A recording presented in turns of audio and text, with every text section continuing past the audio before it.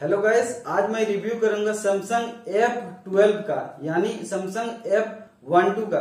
Friend इसमें बताएँगे review करेंगे अनबॉक्सिंग करेंगे। चलिए सबसे पहले अनबॉक्सिंग कर लेते हैं। देखिए, ये फ्लिपकार्ट से आया था। तीन चार दिन लग गया और तो इसको सबसे पहले मैं खोल लेता हूँ इस प्रकार यहाँ पे खोल लेता हूँ, और जो है, फटाफट खोलने के बाद, देखिए, इस प्रकार खोलने के बाद इसका लुकिंग देखिए फ्रेंड ये है। सैमसंग का, ये जो डब्बा है, उसके बाद फ्रेंड मैं दिखा रहा हूँ। यहाँ इसके साथ एक बिल आ जा रहा है, जो आपने मंगाया था ऑर्डर किया था, ये बिल ठीक है, ये बिल को मैं रख देता हूँ और ये डब्बे को ये साइड में मैं रख देता हूँ। साथ ही साथ फ्रेंड देखिए, ये सैमसंग गैलेक्सी एफ़ ट्वेल्व है और इस प्रकार आप देख सकते हैं। और साथ ही साथ मैं इसको यहाँ से भी खोल लेता हूँ, चलिए, इस प्रकार मैं खोल लेता हूँ। खोलने के बाद फ्रेंड, देखिए इस प्रकार, देखिए इस प्रकार आ जाता है। आने के बाद देखिए ये फ़ोन रह गया। फ़ोन मेरा ये है। देखिए इसके साथ फ्रेंड डब्बा में क्या क्या आ जाता है?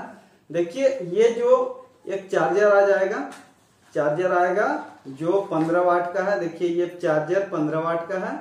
और इसके साथ पोर्ट सी टाइप चार्जर आ जाता है।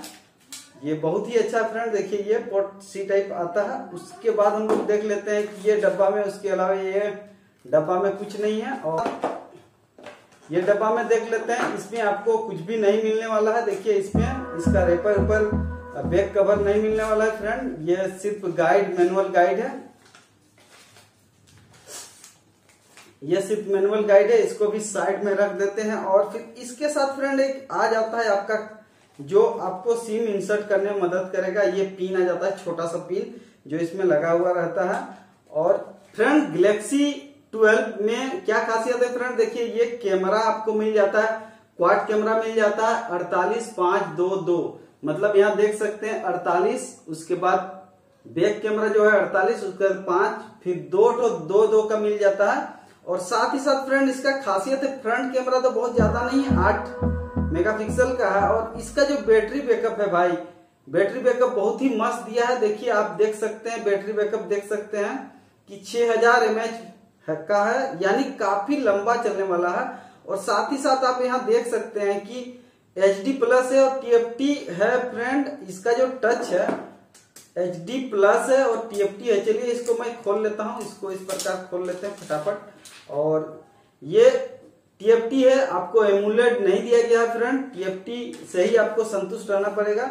ये बहुत ही अच्छा फ़ोन लग रहा है, ऐसे बहुत शानदार वज़न है थोड़ा सा वज़न तो है इसका, पर हमको लगता है कि अगर और थोड़ा सा हल्का रहता तो बहुत ही अच्छा रहा। फ्रेंड ये फ़ोन अभी आपको मिल जाएगा, देखिए इसका प्राइस है मतलब तेरह हज़ार लगभग लेकिन ये डिस्काउंट उस्काउंट लगा के अभी जो महाबचत सेल चल रहा है, उसमें आपको साढ़े नौ हज़ार में मिल जाएगा फ्रेंड गैस आप देख सकते हैं इस प्रकार इसका जो टच है, इस प्रकार बहुत स्मूथली काम करता है, ये देख सकते हैं आप, बहुत ही अच्छा से काम करता है।